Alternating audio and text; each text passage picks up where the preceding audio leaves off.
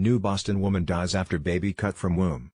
To view the full article, click the first link in the description below.